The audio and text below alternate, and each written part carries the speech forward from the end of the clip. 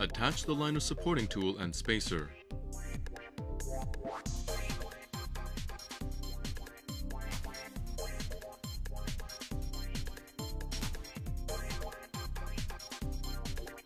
Fix them with the tightening nuts of cylinder head.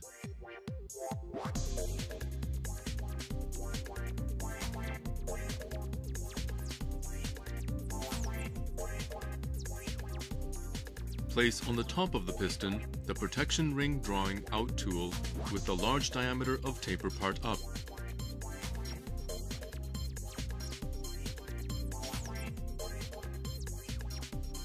Remove the protection ring while turning the flywheel slowly.